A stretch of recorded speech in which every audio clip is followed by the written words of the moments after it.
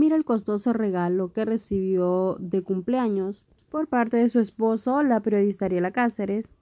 mismo que ha sido objeto de críticas, ya que critican al esposo de la periodista, ya que le dicen que de dónde sacó o cómo hizo para obtener un regalo tan caro si no trabaja.